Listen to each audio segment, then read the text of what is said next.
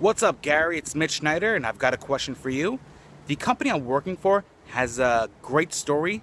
We're putting up great content on all our social channels, but we're not seeing the engagement we were hoping for. Is it worth it to promote our Facebook posts, our tweets, and our LinkedIn posts in order to gain more engagement on what we're putting out there?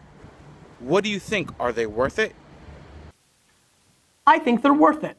Now, I think they're worth it if you actually target it properly. So you used promote, and I would say target, meaning Twitter, you can target actual words that people are using to get even more narrow into who you're trying to target. Facebook dark posts, we've at nausea talked over these 12 episodes of Facebook dark posts. I do think you should target, but, and this is why I turned my face to the camera while you were asking the question, my friend, you're deeming it to be great content.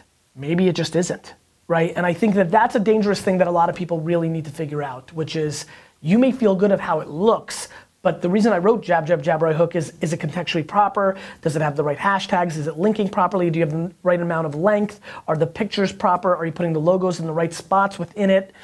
Please triple check. You gotta check yourself before you wreck yourself, they say. And so please triple check that you're checking all the boxes of doing all that stuff properly.